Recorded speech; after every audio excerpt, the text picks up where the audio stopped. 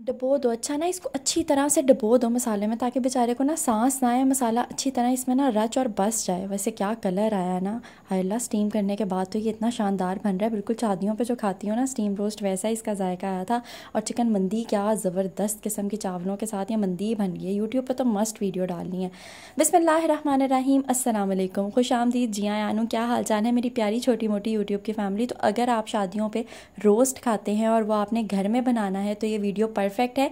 Channel पर new है तो सबसे पहले लाइक सब्सक्राइब और शेयर करना मत भूलिएगा। तो ये दो चिकन के थाई पीसेस लेके इसमें लगा दिए हैं। मैंने कट कट खूबसूरत भी लगता है और मसाला अच्छी तरह इसके अंदर रच बस भी जाता है। और दो चुन्ने मुन्ने थाई पीसेस और पड़े हुए थे, उनमें हड्डी निकाल के मैंने वो भी इसमें शामिल करके।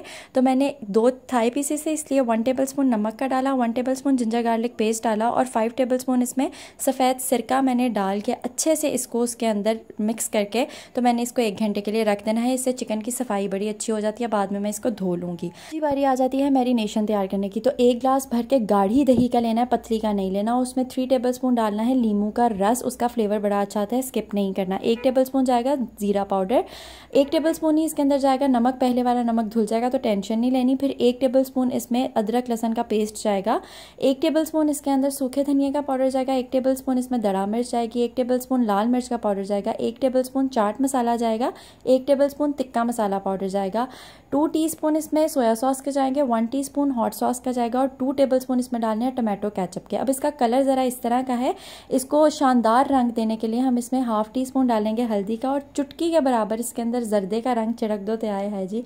क्या मज़े का कलर आया। अब मुझे ना चाइनीज़ सॉल्ट की बड़ी गंदी आदत है तो मैंने थोड़ा सा चाइनीज़ सॉल्ट इसके अंदर और थोड़ी सी दड़ा मिर्च और सुरख मिर्च और डाली थी, ताकि थोड़ा चस्का लग जाए। अच्छा अब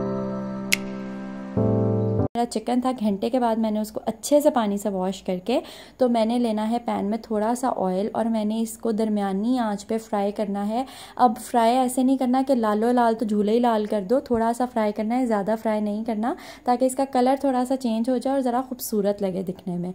अच्छा जी, अब इसका कलर थोड़ा चेंज हो गया है और इसके ऊपर जो से हैं, ये मार्क्स ब्राउन ब्राउन आ गए हैं तो आपने इसको निकाल के तो साइड पर रख देना है और रखने के बाद आपने इसके ठंडा होने का थोड़ा सा इंतज़ार करना है उसके उसके बाद जो आपने मैरिनेशन तैयार की थी, आपने अच्छी तरह से इसके ऊपर वो मैरिनेशन लगा देनी है।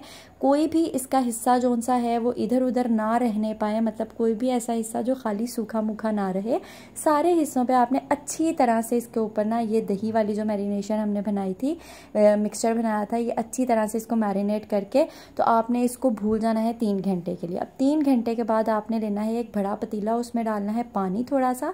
पानी के अंदर आपने डालने हैं दो तेज़पात एक बड़ी इलायची तीन चार दालचीनी छोटी छोटी है तो तीन चार डाल लें अगर बढ़िया तो एक दरमियानी साइज़ की डाल लें। तीन चार साबुत काली मिर्चें जाएँगी और दो से तीन लौंग जाएँगे। ये सारे आपने साबुत मसाले डाल के इसमें एंड पे आपने इसमें डाल देनी है दो सब्ज़ इलायचियाँ। और उसके बाद आपने कोई ऐसी स्पेस रख देनी है देगची और आपका जो स्टीम को चिकन स्टीम करने के लिए आपने रखना है उसके दरमियान कि वो देगची को टच ना हो, नहीं तो वो जल जाएगा और वो स्टीम में तो डेफिनेटली फिर नहीं पकेगा, वो नीचे उसके जो है ना, वो मज़ा नहीं आएगा आपको। अभी मैंने एलुमिनियम फॉयल के ऊपर जो चिकन था वो रख के जितना मसाला था मेरे पास, वो मैंने सारा इस एलुमिनियम फॉयल के ऊपर ही लगा देना है। नीचे जो पानी है, वो अपना फ्लेवर इसके अंदर छोड़ जाएगा।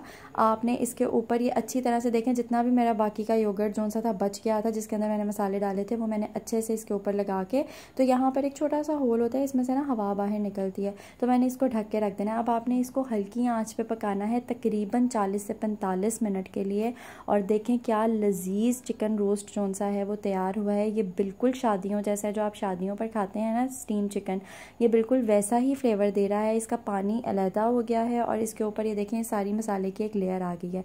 अब हम इसके राइस प्रिपेयर कर लेते हैं। तो राइस के लिए मैंने थोड़े से ऑयल में एक प्याज गोल्डन ब्राउन किया था। दो ग्लास चावल थे, इसलिए मैंने दो ग्लास पानी के अंदर कनौर यखनी का साशे मिलता है, कनौर यखनी पाउडर का, वो मैंने डाल के तो वो मैंने पानी को जब उबाला है उसमें चावल डाल दिए और चावल डालने के बाद मैंने उसके अंदर डाल दिया थोड़ा सा नमक और उसके बाद मैंने अच्छे से उसको मिक्स करके तो जब पानी खुश्क हो गया तो मैंने दम पे उनको रख दिया।